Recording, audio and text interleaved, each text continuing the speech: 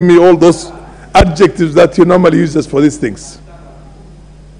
Mr. Speaker, those people are dead as human beings who support such things. In my faith as a Muslim, the death penalty is what they deserve, people who engage in such things. And I'm proud of that. And I don't care what somebody else feels.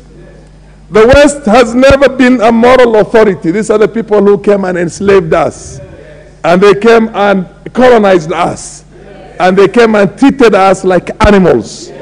And now they want to tell us to behave like animals.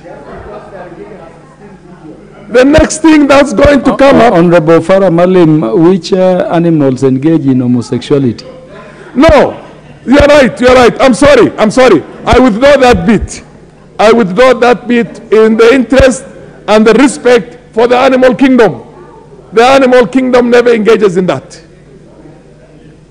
But the next thing they're going to tell us is that somebody, somebody has a right, a man has a right to marry a woman. They want to tell us that a woman has a right, sorry, to marry another man, or a woman has a right to marry a, a woman. What do we, two women who are married do to do? What is there?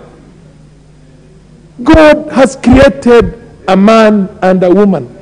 It's there in all the Abrahamic scriptures. It's in Islam. It's in Christianity. It's in Judaism.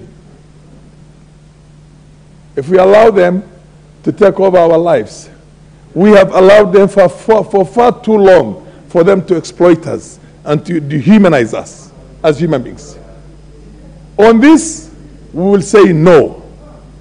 If they're going to come up with the travel, what do you call restrictions, keep your country, keep your cultures, keep your nonsense to yourselves. And I'm talking to the West in this case here. Mr. Speaker, we do not, the Supreme Court itself does not make laws, it interprets the laws. You're a legal mind, I'm a legal mind. Sodomy is a crime in our books. So how should they come about now and tell us that they should be allowed to associate? Associate. The right to association.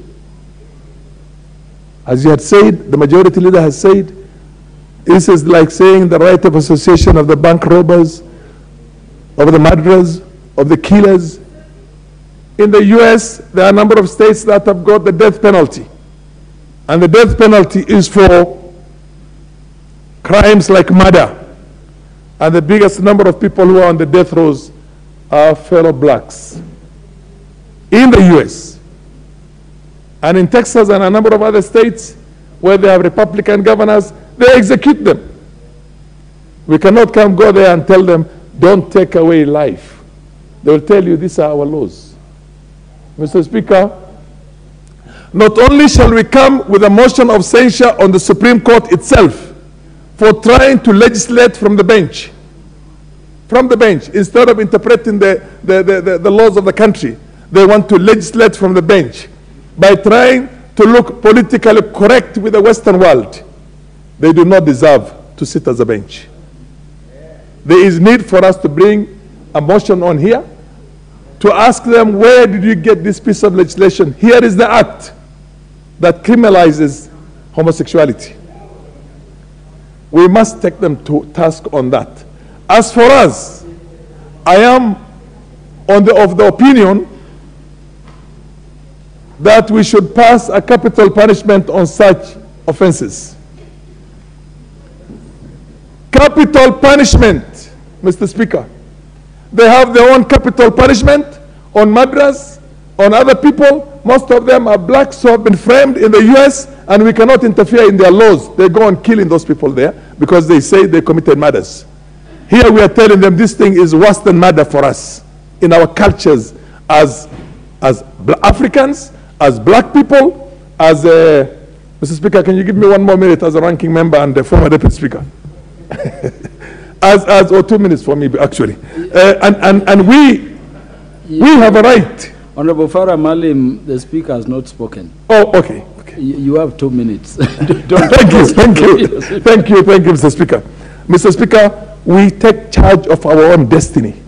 we take charge of our, they are going to legalize marijuana. They are going, they have legalized, what do you call anything? Very soon they're going to legalize the drugs that are going to destroy our generations and children in here. It is, in my very humble opinion, that we take charge of our countries. We are independent. We are a sovereign state. We have our cultures. Our cultures do not conflict. African cultures on some of these fundamental issues are the same. It doesn't matter whether you're a Christian or a Muslim or you're a traditionalist. We all have a common culture on such things. It's my opinion, my humble opinion, that we should change that piece of act itself and prescribe capital punishment for people who can be proven to have engaged in these kind of things. When I say capital punishment, Muslims, where there's a serious Islamic states who follow their own scriptures, they carry out capital punishment on them. They do not deserve to live. In my opinion, humble opinion.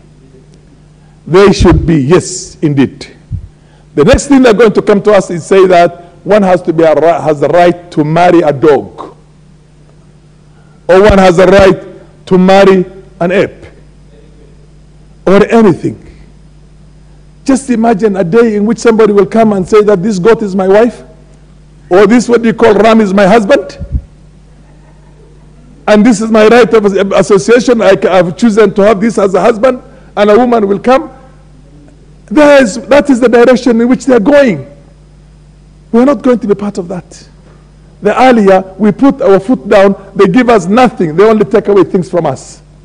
The earlier we put our foot very hard down and say, on this, no, the better. And I commend such countries like the president of, uh, uh, of, of, Uganda, Yoweri Museveni, the, our, our, uh, the president of Malawi, the, of course, Mugabe was one guy who called out these things many years back and told them these are nations of gays and what do you call lesbians, and these are not people that we can talk to.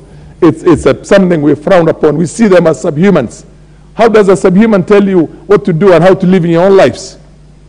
So we, we, we must be able to stand on our own grounds uh, as a continent, as the leaders. We are the leaders of this country. That should never be allowed.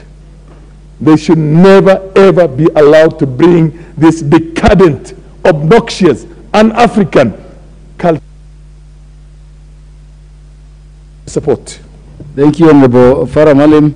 Uh, the, the Chair of Justice and Legal Affairs Committee, the Honorable Gitonga Murugara, the MP for Tharaka, Thank you. is in the house now that we are talking about the Supreme Court, I think. Yes, absolutely. Thank you, Mr. Speaker. Sir, allow me to also voice my concerns about this decision.